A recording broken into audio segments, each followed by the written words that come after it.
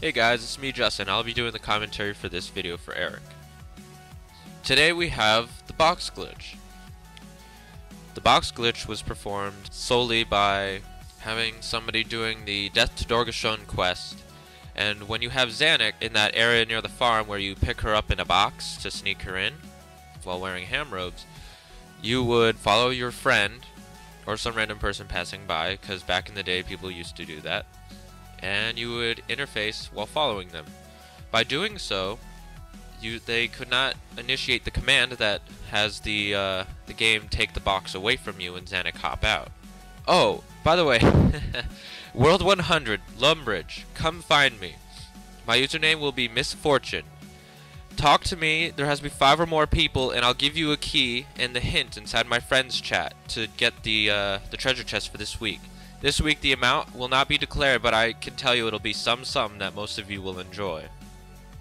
So, hunt on. Back to the glitch, though.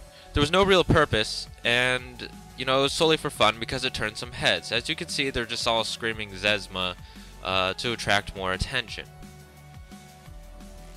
In the later years, more like 2009, 2010, uh, people discovered the uh, flooding and buffer stack overflowing, whichever you want to call it. I'm not going to explain how exactly those were done because they should be somewhat self-explanatory and used to be very secretive. Even among the community now, not many people can find them. But you could use those to be able to walk the crate free walk yourself. Also, if you force dropped the uh, the crate with the uh, force drop from the recipe for disaster place underwater. You would uh, log in, interface it, teleport, uh, yada yada, and force unequip the crap. So, submit for Erik and us, and we'll upload your clips, and you'll get some stuff. You know, we'll give you money right off the bat. You won't even have to do the treasure chest.